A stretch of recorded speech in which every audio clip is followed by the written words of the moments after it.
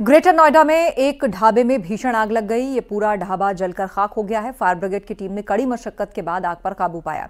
थाना सेक्टर 142 क्षेत्र के सेक्टर 144 की यह घटना है।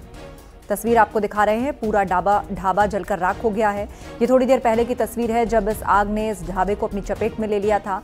आग की लपटे और धुएँ का गुबार दूर तक आसमान में फैला हुआ था। धीरे धीरे इस ढाबे में पूरी तरह से आग फैल चुकी थी। और अब ये ढाबा जलकर खाक हो गया है।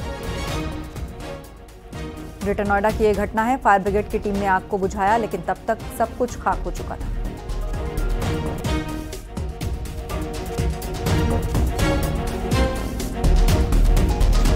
कानपुर में गेहूँ की गेहूँ के खेत में भीषण आग लग गई। आग लगने से करीब 12 से 13 बीघा गेहूँ की पकी हुई फ़सल जलकर खाक हो गई। सूचना के बाद मौके पर पहुँची पुलिस और फायर ब्रिगेड की छह गाड़ियों ने आग पर काबू पाया।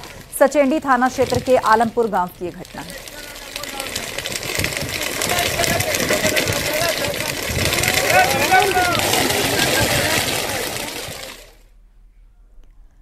और रुकेंगे ब्रेक के लिए, खबरें लगातार जारी हैं। आप देख रहे हैं न्यूज़ एटीन, उत्तर प्रदेश, उत्तराखंड।